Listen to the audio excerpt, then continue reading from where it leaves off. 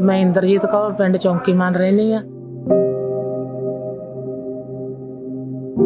ਮੇਰੇ ਜੀ ਚਾਰ ਬੇਟੀਆਂ, ਇੱਕ ਬੇਟਾ ਸੀ।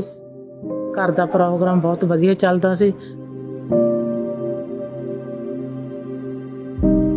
ਮੇਰੇ ਹਸਬੰਡ ਦੀ 2020 ਦੇ ਵਿੱਚ ਐਕਸੀਡੈਂਟ ਕਾਰਨ ਡੈਥ ਹੋ ਗਈ ਸੀ ਤੇ ਉਸ ਤੋਂ ਬਾਅਦ ਸਾਡੇ ਘਰ ਦਾ ਮਾਹੌਲ ਬਹੁਤ ਖਰਾਬ ਹੋ ਗਿਆ।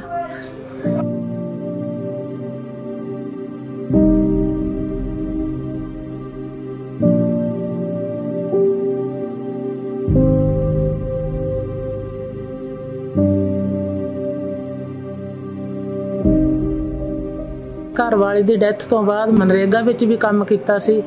ਕੁੜੀਆਂ ਮੇਰੀਆਂ ਵਿਆਹਣ ਵਾਲੀਆਂ ਨੇ, ਮੁੰਡਾ ਮੇਰਾ ਛੋਟਾ ਅਜੇ, ਮਤਲਬ ਹੁਣ ਪਲੱਸ 1 ਚ ਹੋਇਆ ਪੜਦਾ ਵਾ।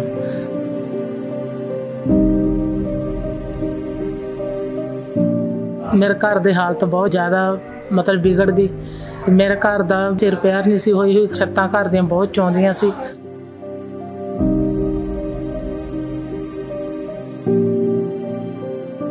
ਮੇਰੇ ਘਰ ਖਾਲਸਾਇਡ ਵਾਲੇ ਆਏ ਤੇ ਉਹਨਾਂ ਨੇ ਮਤਲਬ ਮੈਨੂੰ ਪੁੱਛਿਆ, ਮੇਰੇ ਛੱਤਾਂ ਘਰ ਦੀਆਂ ਬਹੁਤ ਚੌਂਦੀਆਂ ਸੀ।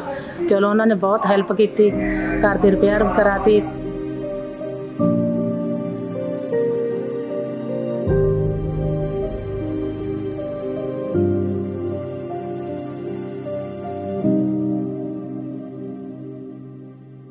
ਮੈਂ ਬਹੁਤ ਬਹੁਤ ਧੰਨਵਾਦ ਕਰਦੀ ਹਾਂ ਖਾਲਸਾ ਐਡ ਵਾਲਿਆਂ ਦਾ, ਜਿਨ੍ਹਾਂ ਨੇ ਮੇਰੀ ਬਹੁਤ ਹੈਲਪ ਕੀਤੀ ਹੈ।